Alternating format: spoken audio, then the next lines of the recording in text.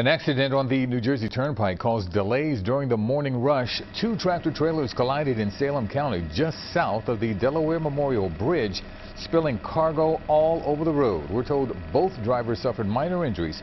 Traffic was able to get by on the shoulder while crews cleaned everything up.